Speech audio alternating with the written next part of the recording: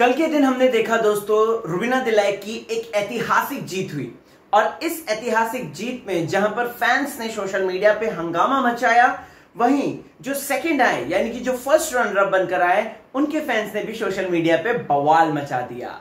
आ गया है होसेन दोस्त राहुल भोज और स्वागत है आपका फीफा फूज में। बिग बॉस बोले तो फीफा फूज।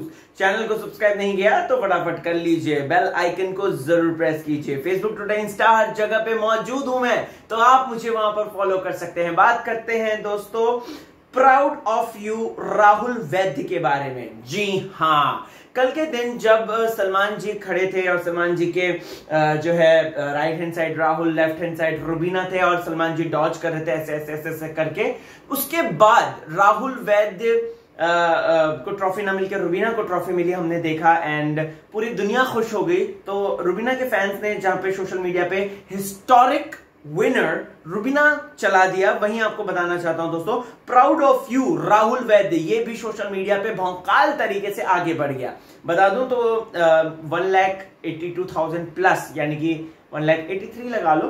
तो इतना जो है उसने ट्वीट जो है अर्जित कर लिया अपने नाम पर और ये एकदम धड़ल्ले से, एकदम भौकाल तरीके से आगे बढ़ रहा था और ये बढ़ भी रहा है। कहीं ना कहीं फैंस ने, जो राहुल वैद्य के फैंस हैं, जो आर्केवियंस हैं, उनकी तरफ़ से एक ट्रिब्यूट है टुवर्ड्स राहुल वैद्य की जिस तरीके से खेला। और इसीलिए वो कह रहे हैं कि proud of you Rahul Vaidya. Of course from nowhere he has reached this kind of situation and thing तो ये बहुत बड़ी बात होती है। तो ये सच में और प्लस टेलीविज़न जगत के बड़े बड़े नाम थे। उनको सबको धूल चटाई राहुल वैद्य ने। तो ये बहुत बड़ी बात होती है।